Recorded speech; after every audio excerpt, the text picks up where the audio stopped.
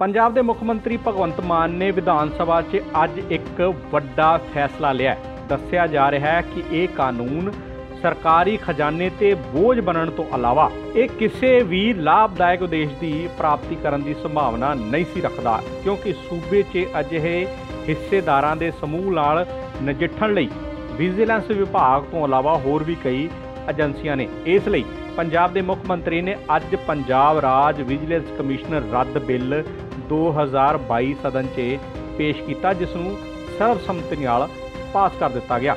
ਮਾਨਯੋਗ ਸਪੀਕਰ ਸਾਹਿਬ ਮੈਂ ਪੰਜਾਬ ਦੀ state vigilance commission repeal bill ਜਿਹੜਾ ਹੈ 2022 ਉਹ ਪੇਸ਼ ਕਰਦਾ ਤੇ ਪ੍ਰਸਤਾਵ ਕਰਦਾ ਕਿ ਦਾ Punjab state vigilance commission 2000 bill 2022 ਤੇ ਤੁਰੰਤ ਵਿਚਾਰ ਕੀਤਾ ਜਾਵੇ। ਪ੍ਰਸਤਾਵ ਪੇਸ਼ ਕੀਤਾ ਗਿਆ ਕਿ Punjab state vigilance commission bill 2022 ਤੇ ਤੁਰੰਤ ਵਿਚਾਰ ਕੀਤਾ ਜਾਵੇ। ਬਹਿਸ, ਕੋਈ ਬਿੱਲ ਬੋਲਣਾ ਚਾਹੁੰਦਾ? ਠੀਕ। ਪ੍ਰਸ਼ਨ ਹੈ ਕਿ Punjab state vigilance commission repeal bill 2022 ਤੇ ਤੁਰੰਤ ਵਿਚਾਰ ਕੀਤਾ ਜਾਵੇ। ਜਿਹੜੇ ਮਾਨਯੋਗ ਮੈਂਬਰ ਪ੍ਰਸਤਾਵ ਦੇ ਹੱਕ ਵਿੱਚ ਹਨ, ਉਹ ਹਾਂ ਕਹਿਣ। ਜਿਹੜੇ ਮਾਨਯੋਗ ਮੈਂਬਰ ਪ੍ਰਸਤਾਵ ਦੇ ਵਿਰੁੱਧ ਨੂੰ ਨਾ ਕਹਿਣ। ਮੈਂ ਸਮਝਦਾ ਹਾਂ ਕਿ ਹਾਂ ਪੱਖ ਦੀ ਜਿੱਤ ਹੈ, ਹਾਂ ਪੱਖ ਦੀ ਜਿੱਤ ਹੈ, ਪ੍ਰਸਤਾਵ ਸਵੀਕਾਰ ਹੋਇਆ। ਮਾਨਯੋਗ ਸਪੀਕਰ ਸਾਹਿਬ, ਵਿਜੀਲੈਂਸ ਬਿਊਰੋ ਹੈਗੀ ਹੈ, ਵਿਜੀਲੈਂਸ ਡਿਪਾਰਟਮੈਂਟ ਹੈਗਾ ਤੇ ਲੋਕਪਾਲ ਹੈਗਾ ਤੇ ਪੰਜਾਬ ਪੁਲਿਸ ਹੈਗੀ ਹੈ। ਸੋ ਇਹਨਾਂ ਸਾਰੇ ਮਸਲਿਆਂ ਨੂੰ ਹੱਲ ਕਰਨ ਲਈ ਸਾਡੇ ਕੋਲੇ ਇਨਫ ਫੋਰਸ ਵੀ ਹੈਗੀ ਹੈ।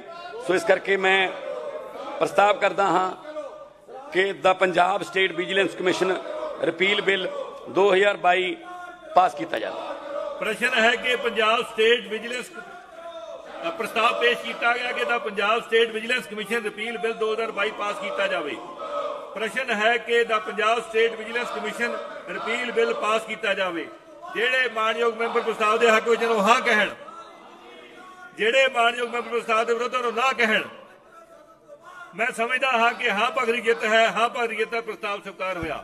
ਮੁੱਖ ਮੰਤਰੀ ਨੇ ਕਿਹਾ ਕਿ ਪੰਜਾਬ ਰਾਜ ਵਿਜੀਲੈਂਸ ਕਮਿਸ਼ਨ ਐਕਟ 13 ਨਵੰਬਰ 2020 ਨੂੰ ਲਾਗੂ ਹੋਇਆ ਸੀ, ਕਿਉਂਕਿ ਇਸ ਐਕਟ ਤਹਿਤ ਬਣਾਏ ਗਏ ਪੰਜਾਬ ਰਾਜ ਵਿਜੀਲੈਂਸ ਕਮਿਸ਼ਨ ਨੇ ਲੋੜੀਂਦੇ ਉਦੇਸ਼ ਪ੍ਰਾਪਤ ਨਹੀਂ ਕੀਤੇ। ਇਸ ਲਈ ਇਹ ਫੈਸਲਾ ਰਾਜ ਵਾਸੀਆਂ ਦੇ ਹਿੱਤ 'ਚ ਲਿਆ ਗਿਆ bureau report, Haqeeqat TV, Punjabi.